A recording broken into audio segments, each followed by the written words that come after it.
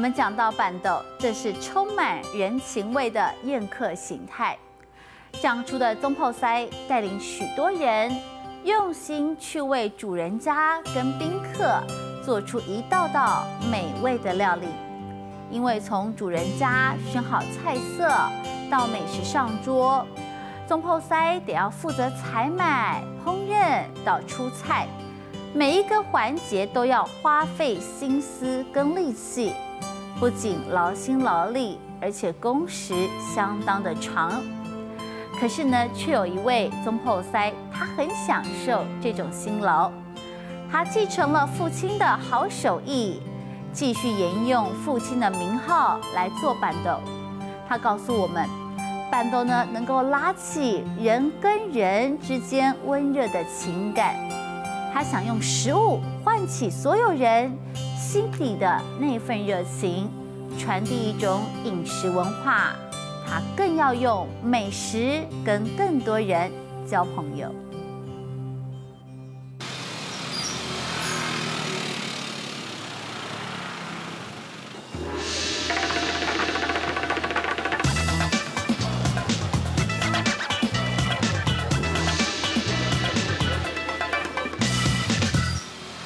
凌晨四点，万大路上的中央市场像是没有合过眼的热闹市集。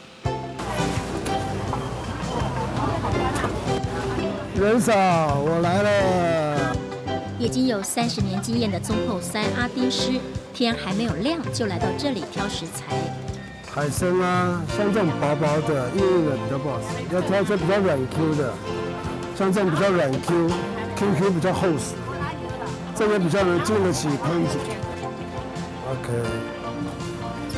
这是我今像这个都是最佛料强，还要再炸过。啊，这是最最佛料强要用的。挑食材除了对品质能够有所掌控，还能够知道目前市场上的行情。不过要能够拥有好的食材，最重要的是要有好的人际关系。啊，阿明姨呀，来哦。哎，我炸，我炸，我炸！啊，我的物件，好无？搁搁点一个好无？我长一张单才无去。累了吗？哎，有有点累，有点累。阿丁，那个阿丁在回来门口。他也都三十几年的好朋友了，哦，他帮助很多了，他帮助很多，对。他帮助我很多，我心肌弱诊就是他来给我，然后他还包红包给我，然后我就欢喜。大大家都是好朋友啊，大家都是好朋友。辣酱最好吃，辣椒还有佛跳板豆讲究的是新鲜丰盛，活跳跳的海鲜是菜单里面不能够少的菜色。刚上岸的大白虾，还有横着走的大螃蟹。这是什么？这也是花蟹。这么大只啊！这个这个这那，这个花蟹比脸那个脸庞这么大，你看到没？很漂亮啊。这跟你挥手啊，好重，要一两斤吧。这个可以拿来做什么？这个当然都可以。我我个人觉得啦，只要水煮就很好吃，不用搞得太复杂。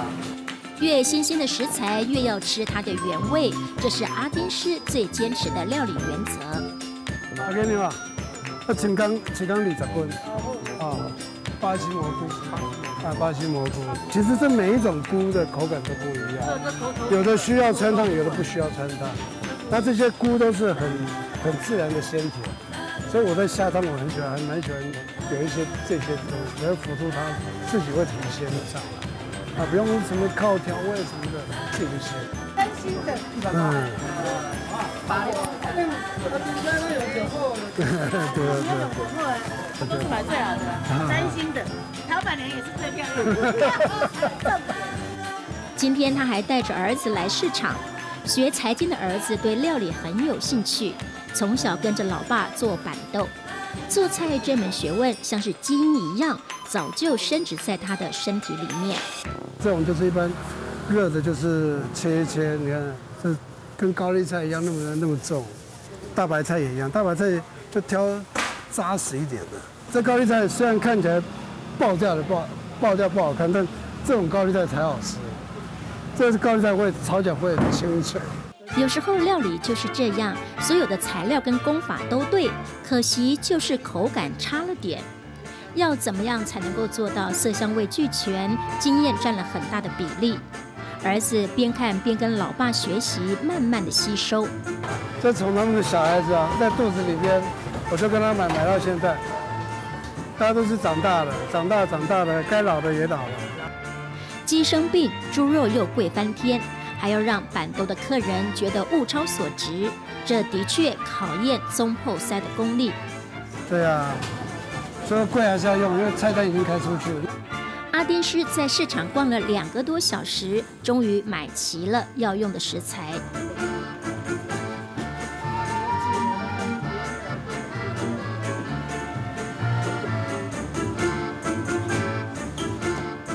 父子俩又风尘仆仆地将食材载回家。这个时候已经是上午七点左右了。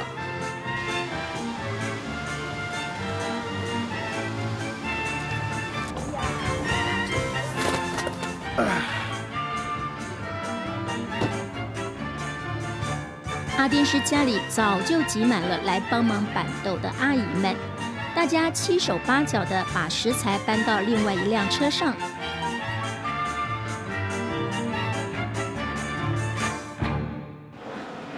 整理完毕，一行人得赶快到板豆的场地。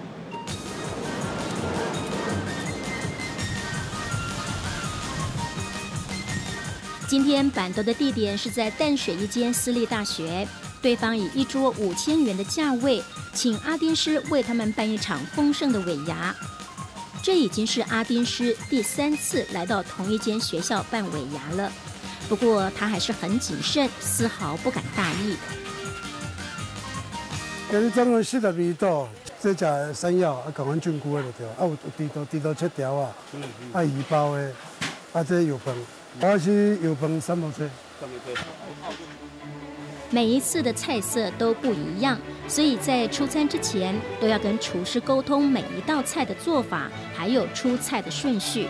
确定之后，大家正式上工。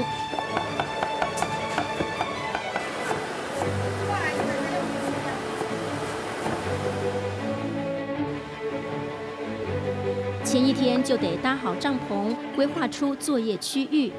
中间是切菜的生产链，头尾两侧是油炸跟蒸煮。户外一个小小的走道上，摇身一变成了中央厨房，所有人都按部就班的进行着。你一定要要用的先弄起来，才不会乱，干好做事。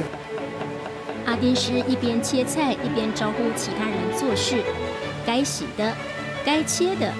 该穿烫的都要分批处理，要让四百多个人在同一时间吃晚餐，这可不是吃大锅菜，该讲究的、该仔细的一样不能少，特别是家传的秋楼菜佛跳墙。汤我又另外熬了一一锅高汤要下去，这一般来讲，为什么佛跳墙不它功耗的最多？其他的什么就是我们鱼皮也好，或笋子也好。它熬出来的这些汤汁，再包括我们的高汤，再重新去去把它做一个长时间的烹煮熬煮，然后再再加上一些呃葱炸啦、蒜炸啦这些东西，那么这这两个东西，葱跟蒜炸过之后，它在熬煮的过程会分泌出很不一样的一种香气出来。早上从市场买回来的鸟蛋，熬煮前得先下油锅炸到外酥内软。阿丁师说，这会让蛋更加的耐煮，不会在熬煮的过程中破掉而坏了一锅汤。另外，在猪肉摊买的排骨，清洗之后要先腌制，再下油锅。油炸过的排骨熬煮之后更加的软烂，更有味觉的层次。当你佛跳墙的盖子一掀开，那香气马上冲上来，这才是它的精神所在。不过提到佛跳墙这道菜，就得提到阿丁师的父亲。他的父亲也是一位宗破塞，尽管年轻的时候双眼失明，可是做菜手艺是毫不逊色。父亲在我六岁的时候，他就双眼失明了，所以家里好像就是已经到了一个传承，一个需要一个一个大男生来帮忙家里的一个一个世代。那刚好弟弟不在，那我就接下来。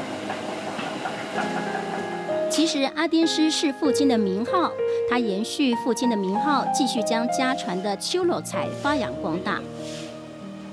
以前读书的时候是读汽车修复科，那汽车修复科我也也也也有自己的一个愿景在啊，以后怎么做啊？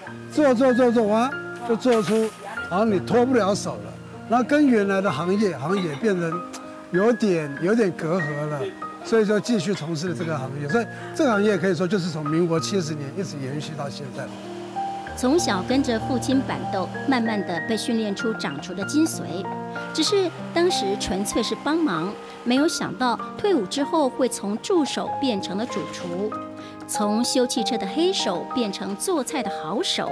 他扛下的不仅是父亲的招牌，也扛下传承两个世代的老滋味。还修，我慢慢体会到，其实它是一个文化面的一个东西。伴奏在台湾是有文化，为什么？其实它跟跟我们的一般民间生活紧结在一起。放到我们的料理里边，也是每一个，不管你是刀工也好，该厚、该薄、该粗、该细，一定要到位，不能说好有那个东西就好，那那是不行。那是就像父亲常讲的，那家庭主妇就会了，不用叫你来了。所以你每一个东西要到位，那才叫做才叫做师傅，是这样。他不仅传承，还能够创新，用电脑设计出图文并茂的菜单，甚至还能够提企划案去参加招标，将板豆这个老行业做到更加专业。你要善用现在的工具，善用现在的记忆记忆方式，善用现在的一些。呃，跟客户互动的模方式，我觉得这都是现在已经具备的基本的一个一个条件在里面。台上一分钟，台下十年功。我们在吃板豆的时候，往往看到的只是眼前的美食，可是这却是宗破 Simon 耗费相当多时间的心血结晶。他们吃可能是一个小时、一个半小时，但是我们做起来是快将近二十个小时。小小的一个东西。需要这么多的工作，还有工序，这样这么多人，我们才可以享受到这么一个汤，这么一个菜。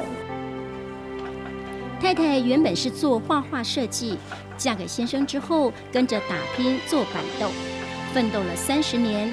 经济不好的时候，夫妻俩也曾经有要转行的念头，可是，一想到这是老一辈传下来的好滋味儿，现在反而在思索。该用什么样的方式让这个好味道延续下去？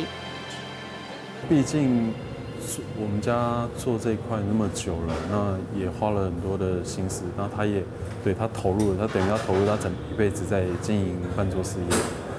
那我觉得多少多少，他当然希望有人去承接这个行业，不管是伴奏这个这个行业，或是这个文化。我们家这个外汇这一块。可以怎么样去改进，或是怎样的可塑性？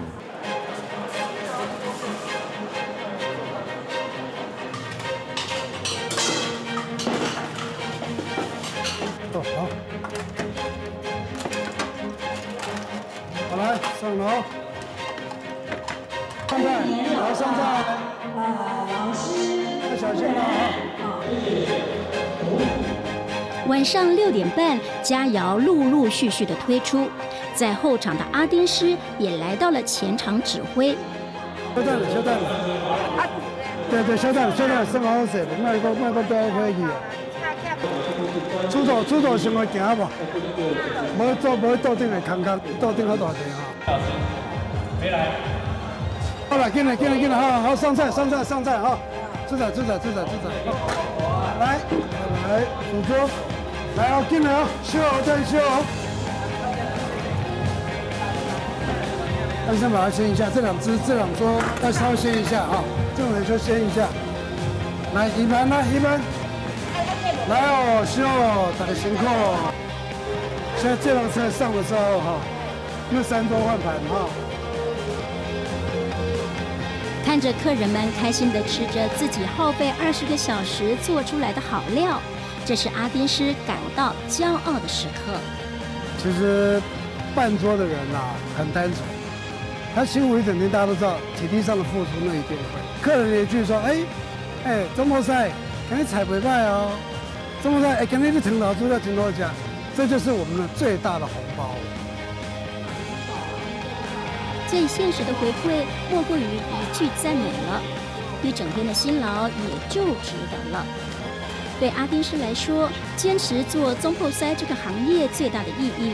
莫过于是利用美食跟大家分享板头的文化跟家传的好手艺，当然这也包括了他对老父亲感谢跟思念。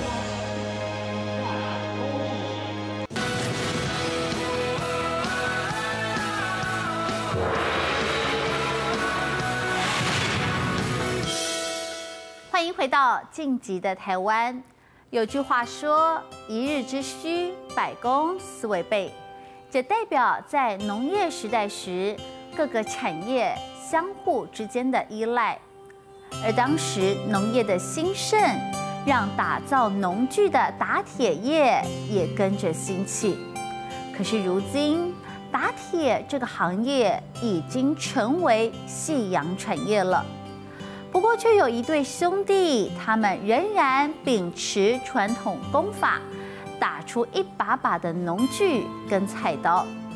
兄弟俩说了，他们只会打铁，能打出好的工具让大家使用，这是他们最大的心愿。也因为这最单纯的想法，让这对兄弟舞动双臂六十年。他们甚至还想。能将打铁的技术传给下一代，再延续另外一个六十年。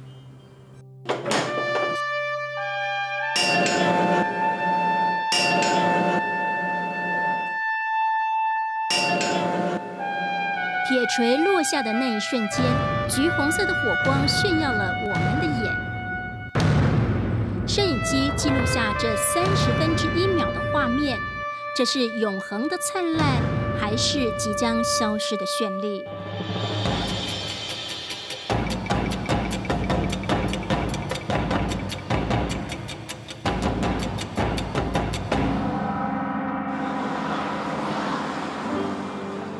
在新竹新浦，九降风吹来，尽管有冬日里的暖阳，却依旧刺骨。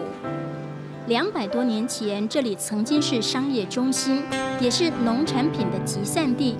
农业兴盛带动了打铁业的兴起。全盛时期，新浦还有打铁坑的地名。如今，老街上的这一间铁店是仅存的一家打铁店。打铁店的负责人是一对同母异父的兄弟。大哥林焕梅从十八岁开始当学徒，到现在已经七十好几了。高中毕业以后哈，我家庭都变很很苦啊，很贫穷啊，就是没办法再继续读书下去了嘛。就那时候我大哥从那个我们那个新某一个街巷铁店那跟张老师傅学的来自己开，开了以后我就高中毕业以后，我大哥也就是叫我跟他。好，帮他一起做。以前工厂没有那么多啊，对啊，一个月上班几百块呢，哦，两三百块以前啊。哦，哎，我老师傅，啊，来呀来呀，给我学学徒的，啊，就学好。我都在学徒，我他家里住了二十八年了。他很得师傅的喜爱，学到所有打铁锻造的技巧。不过，那却是一段辛苦的日子。我老师啊，哦，叫我三点起床，我是三点起床来，哦，来来做做事啊。岁月带给他的是纤瘦弯曲的身躯，站在炭火炉前，鼓动着风箱，火红的焦炭，炙热的温度让人无法忍受。可是他却愿意用六十年的时间。天天站在炉火前，一次又一次的淬炼打铁技术。很多农家用的东西有很多呢，很多不一样的东西要送出去给给人家用，要耐用。我们要做东西要做信用给客人，啊，客人拿来不管花多少钱，我要做给信用给客人用哦。这是打铁兄弟的信念，也是他们赖以为生的信用。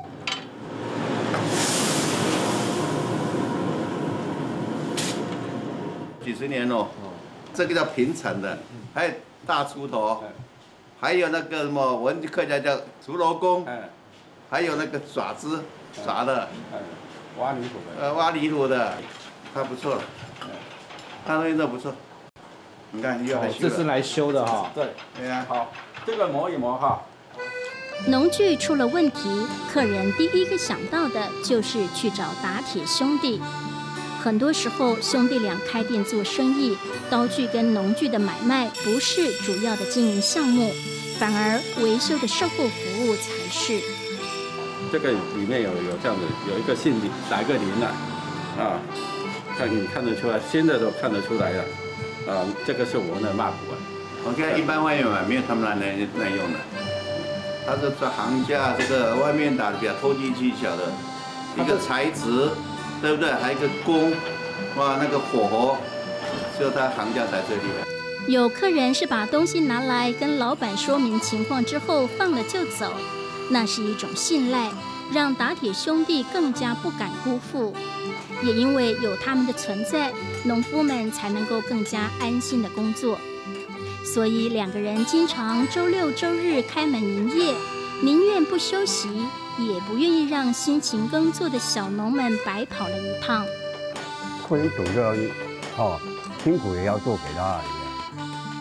呃，我们这客人来哦，一来一定要给他有有了好远的地方，有没有力，那么远要第二天不可能。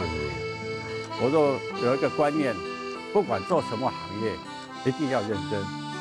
你要做给客人的东西啊，要可以用。你不要说东西做出去，做可以交代，那这种观念都不可以。不过，如果产品不够好，恐怕也没有办法让消费者掏腰包。所以，关于打铁这件事，铁匠兄弟有特别的坚持，用很特别的材料来制作。目前来说，在台湾里面真正打铁匠用炮弹钢打的哈，现在可能找不到有几家了。这个炮弹壳是十几年前虎口那个战车边缘的上面演练打出去，打到目目标以后，他都没有挖出来。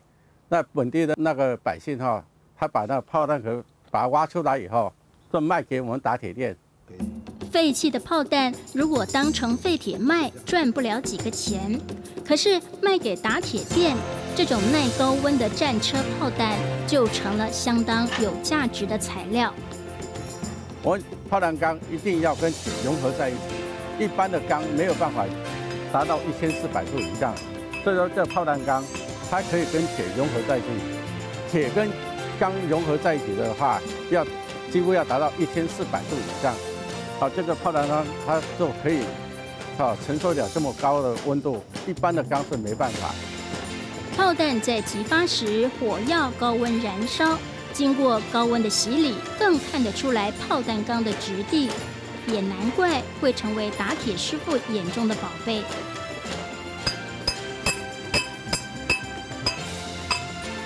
敲去切割不完整所留下锋利的边缘。被裁切成四分之一的炮弹钢放进炉火中，将起好的炉用风箱加热到一千四百度，火红的炮弹钢用锤床塑形。这是打铁师傅在锻造过程中很重要的一个步骤，因为可以去除炮弹钢内的杂质，而这个动作必须要反复进行。直到钢慢慢的成为长条状，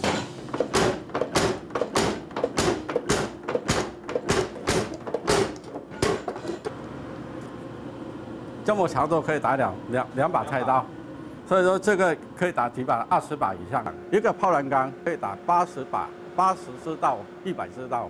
一把菜刀不是说一定要整支用炮弹钢打的，那是外行人讲的。真正好用的菜刀。要铁要多少配多少钢下去，这样才会产生一把好的刀子。反复塑形之后，钢材已经具备成为一把好菜刀的基本条件。接下来，师傅又烤红了一块铁，这一块铁得跟钢做结合。于是，兄弟俩先将铁片劈开，再将塑形好的炮弹钢夹进铁片里，让铁片紧紧的包覆。这么这样子打两两把菜刀，这可以打两把菜刀。哎，这炮弹钢嘛。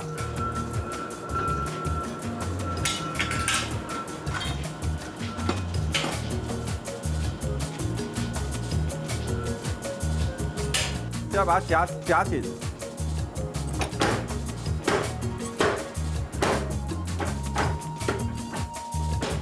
铁片夹住炮弹钢，就像是三明治一样，放进火炉里熔接，高温状况下让金属软化。软化之后的铁就得靠人力加以融合。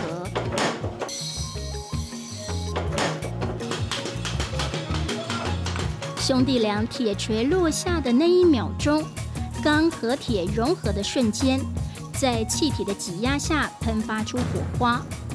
烧得火红的铁屑喷溅到摄影机的镜头，也喷到我们的发髻。正当我们因为看到这绚丽的一幕而惊讶赞叹之际，下一秒却是被刺痛拉回现实。这么多年，我做三十几年来，我就现在不管做每一样东西给客户，每一样都要做做的给哈给客户要好要好用。到现在我打铁打到现在，我认为。就是炮弹钢，在我的印象中做炮弹钢，做我的刀子那个做那个锋利哈是最好的那个料。有人形容这种用铁和钢合成的做法叫做三合钢，这是最传统的做法，而做出来的刀子也最好用。你换个角度看，它它有一个。有一个有一条横疤啊，横横的，哎，要有横疤，有有有连接上来啊。这这这里前面就是钢了。打磨光亮之后，老师傅用锉刀刮掉最上层的薄铁，在薄铁下面看得出横切面的炮弹钢。如果将这一把刀开封磨砺了，将会是一把很好用的菜刀。只是这个过程，每个步骤都得一步一步来，完全快不得。早上就是打锄头嘛，然后下午就整个下午就在打电钻，就是整个都是在用到力气，所以现在就是先学那个来帮忙分分担一点力气啊。大儿子现在是最好的助手，他当兵退伍，在湖口工业园区找到助理工程师的工作。可是看到父亲跟大伯两个人天天这么辛苦，考虑再三之后，也决定接下父亲的工作。很多人问我说：“你以后你儿子要不要接啊？”我说：“我一直强调说，我希望我儿子来接我的工作。”所以说我小儿子也有听到我这样子讲。如果还可以学会，又会又打那个刀子的话更好，从一一块铁做出一个刀子出来那个形状啊，啊，我希望他学到这种程度来。如果能够独立完成一把菜刀，这代表年轻的儿子已经具备资格，能够接下这个店。这也是做父亲的一点私心。谁会希望开了六十多年的打铁店，在自己体力不佳、年纪渐长之后无力经营下去，最后只能看着他关门大吉呢？他不想，做大哥的也不想。还好，两个人的儿子都有意愿来继承家业，从基础学起。也许两位年轻人在父亲经验的加持下，跟时间的磨练下，不久的将来，这家打铁店还可以继续下一个令人期待的六十年。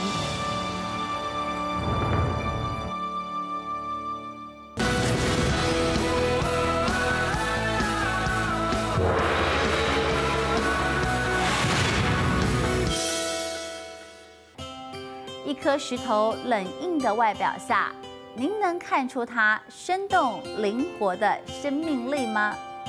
在彰化二水有一位大师，他是知名的实验雕刻家。砚台对他来说除了是写书法、画国画的工具之外，还是一件艺术品。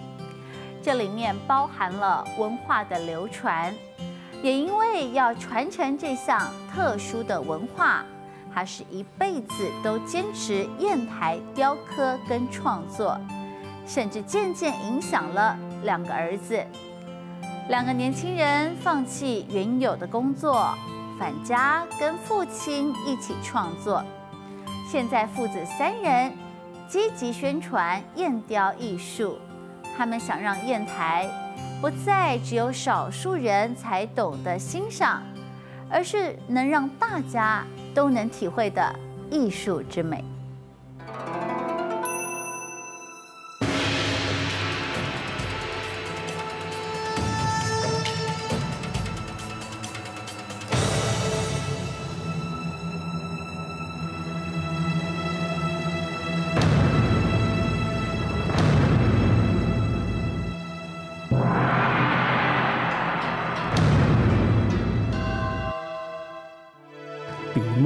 纸砚，这个砚台可以时间保留会比较长啊。我从事这份工作到目前，我是觉得说，啊，都是都是在很认真来维持我们这个文化。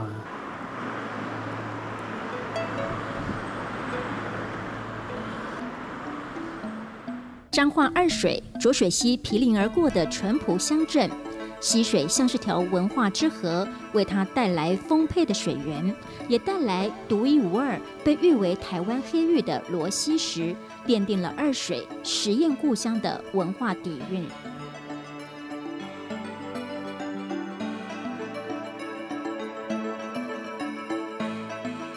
它是密度高、质地细腻、滑墨，不损坏这个毛笔。罗西石的好得到二水实验雕刻家一致的认同。其中，从十七岁开始就学习实验雕琢的董作老师，对罗西石更是情有独钟。别人眼中又硬又冷的石头，他却能够看出这个石头矮板的外表下那生动的灵魂。因为它的过程可以说一个。没有生命的石头，我们附加雕刻，它会变成一件艺术品，让我们来观赏。啊，这这个雕刻过程可以说以工作中来雕刻，雕刻当中来创作啊，啊，一件又一件自己喜爱的作品来丰富人生，也是一个心灵享受。石不语最可人，石头不会告诉你它可以成为什么。可是董老师却能用一双眼睛跟巧手，将它们变成一方独一无二的砚台。哦，第一件作品就是啊，从这个水牛雕刻出来的。啊，因为这个水牛来讲，这是我们台湾人的精神哈。水牛，还有能腾云飞跃的龙。这方砚台上有九个各具形态的龙，经过了六个月的雕琢，它赋予石头另外一个不同的生命。色泽、纹路、造型，这样来雕刻会更好，会保持它完美的作品。他的作品每一刀都是独韵的匠心，每一座都描述着他心灵中那一次的呐喊。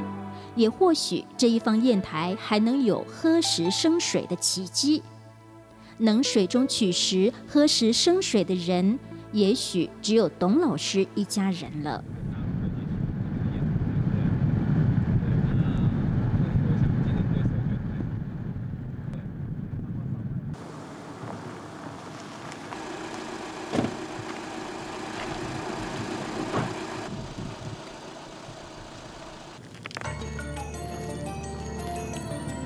一天，他带着两位儿子，引领我们到浊水溪的支流，去找寻那传说中能够喝食生水的罗溪石。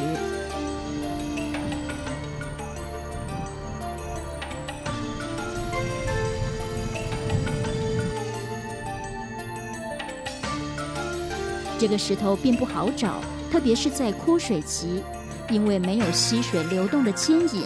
石头没有办法从上游移动到下游来，因此除了眼力，运气更为重要。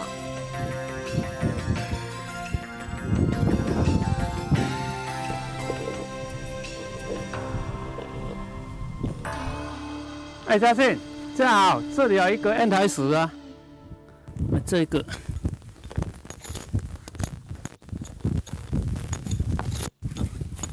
到位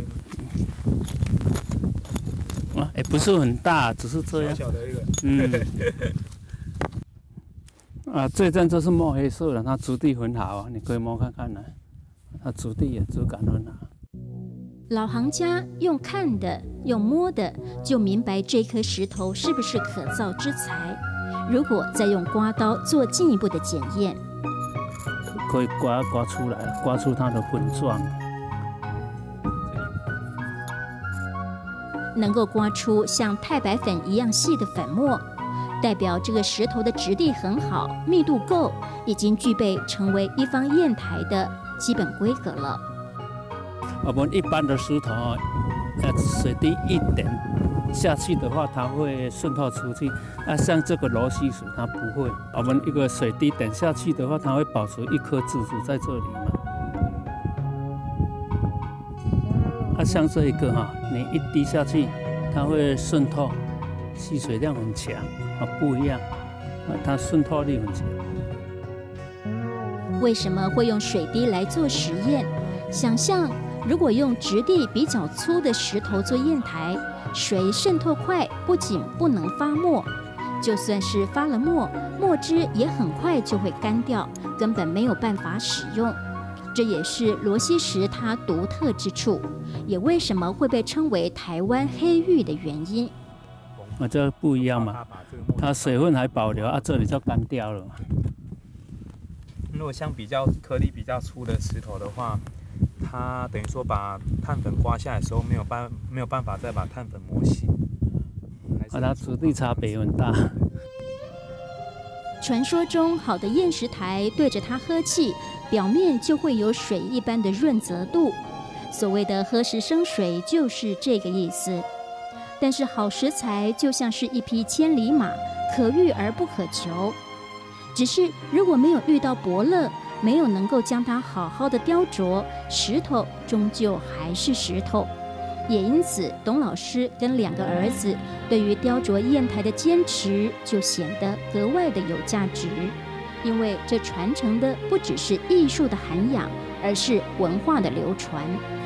以前的砚台，大家可能对于它的定位会在实用性方面。透过这几十年来哦，砚台从以前的呃，实用型到达工艺的一个程度，然后再演化到艺术的一个层面，它已经呃跳脱了以前实用的方面，它赋予它的一个新的生命力。能够赋予石头生命力的人，想必也是个对生命执着的人。看着董老师在石头遍布的河床上来回的找寻，他静定的眼神不放过任何一个可能的角落。他从容的态度，即使在石头密布、高低不平的河床上有摔倒的可能性，他还是想将这些沉潜在溪底的美玉，从滚滚生命洪流的众生之中给挖掘出来。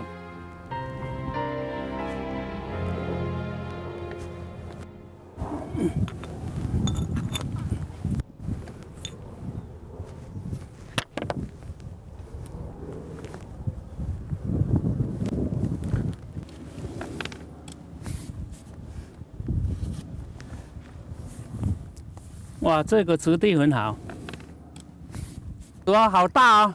要不要来看看？在这里啊，很大。哇！还是你们两位来搬呢？哇！要不要刮看看？哦，如获至宝啊！对啊，要找这么大的下一期会很难。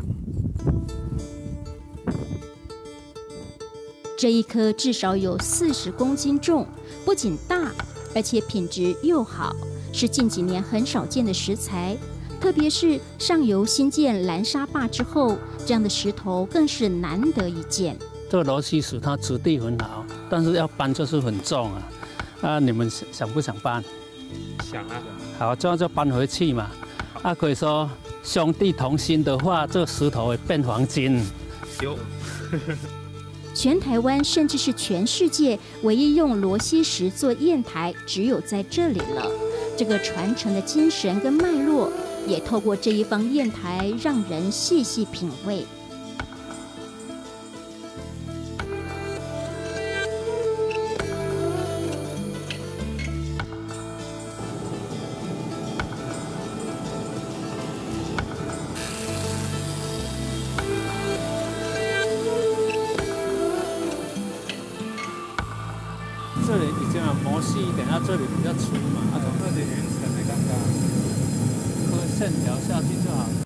子正在做飞天仙女的雕刻，父亲有时候还是会指点他，怎么样才能够做出更有意境的创作。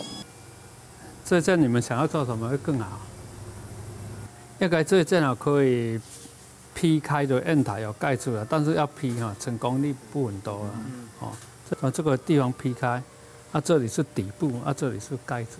这外表修饰就好了，对，从我来这走一点那不要，稍微刻一下就好了。你这样原本都行啊，那再给我拿地套刚刚。刚刚找到的罗西石体积不够大，尽管外表长得像瓜类，却因为有个凹陷的缺点，大家讨论之后觉得只适合做一般的随形砚。所谓的随形砚是利用石头现有的形状，并且保留石头部分的外表而做成的砚台。这跟以往大家常看到的方形砚台相比，更有温润的感受。经过裁切的石头扁平的身形，感觉似乎完成了一半的工。再仔细端详横切面是不是完整？这一面，这边小面，这边可以，没没有这是好了，比较厚一点啊，看起来比较有那种厚实感，就这样嘛，用心。这颗巴掌大的石头没有裂痕，也没有明显的水纹，这会让制作过程的成功率大大的增加。事实上，每一颗石头不是捡回来就能够制作成砚台的。有些伤痕从外表上是看不出来的，往往是在切开之后才能够清楚这颗石头是不是可造之材。啊，像这种花线里面的裂痕大约有四成、四成左右。啊，像这种我们就是说就没有再继续创作，就将它淘汰掉。没有，一敲就断掉了。很多时候以为发掘了一块宝玉。但是打磨之后才发现，原来这就只是一颗石头。其实这跟我们人生很像，大多数的时间我们都期待能够发掘跟能够磨练出可用之才，但是往往很多时候要试了才知道，所有事不是都能够尽如人意，而且也不是每一次的付出都能够有所收获。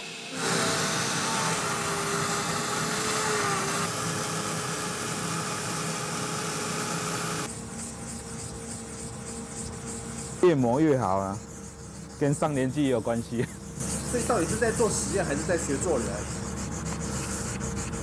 呃，从作业中学，等于说我学到验道啊，学做人，对，这也算是一种修行啊。光是打磨这个过程就得做上好几个小时。这个磨越久，它的质感会跑出来。哦，美美嘎嘎嘛，美美嘎嘎，就是。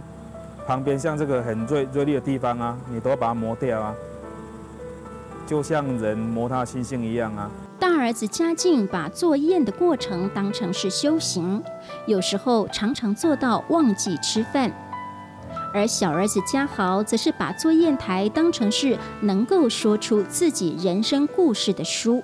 而在我们这边看到的一些创作哦，它都是有生命力的，因为有体悟过、体会过。他才可以把这个情感融入进去，他呃艺术品里面才这个生命力可以展现出来。有时候都说砚台的雕刻，它变成是一座桥梁，哦，跟人跟人的一个沟通的一个桥梁。对，可能我做的一个意境，呃，跟来欣赏人他所体悟到的、感受到的是不同，但是呃一件作品它的一个作用反而发挥到最大。两位儿子都从父亲那里学到了制作砚台的耐心跟坚持，还学到以生命为本质的创作。不只追求形态的逼真，还透过触目所及的现象，寻觅生的哲学跟活的美学，来发扬燕雕艺术。我父亲当时他们在雕刻都会比较单一一点嘛，啊，但我们就是以这个呃传统当中来创新嘛，啊，创新当中哈还保留传统，啊，现在第三代哈他们要自由发挥哦，他们的雕变化还比我更好，比较线条线条美哈，啊曲线美都跑出来，啊，所以说。雕刻过程就是每个人每个人他的想象，就是来自不同的灵感啊，雕出不同的那种意味啊，那种创作不同的灵感雕出来的品味都不一样了。十不语最可人，那是心的沟通，对，因为是透过双手的一个互动，直接体悟到石头，还有眼睛的看石头的一个石纹的脉络，那再做到心的一个沟通。用手的温度来感受石头的冰冷，但是摸久了、握久了，即使是颗顽石，也会用相同的温度来回应你。这或许有点慢，也许时间有点久，但是仍旧会得到好的回应。就像这对兄弟，他们都曾经在外头工作，到最后却又都回到了家里，跟着父亲一起创作。因为这一份砚台的一个艺术路程哦，是从爷爷那时候就开始传承下来的。当初会回来是因为感动，我父亲他对砚台的一个创作推广上面付出很多的努力，他的对我们子女，呃，对我来讲哦，感动非常大。那呃，那也是因为从小在这个环境长大，对这个砚台方面有非常大的一个感情哦，所以毅然而然就回来家里面传承工作。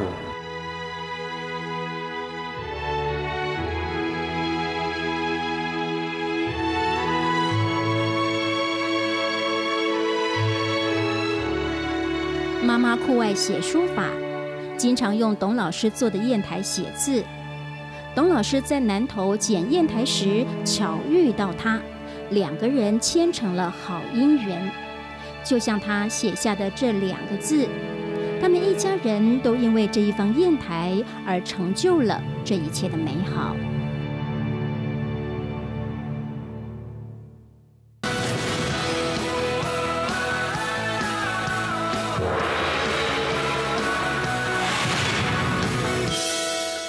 晋级的台湾带您深入看看这些平凡人最不平凡的精彩人生。感谢您今天的收看，我是廖婷娟，我们下次再见了。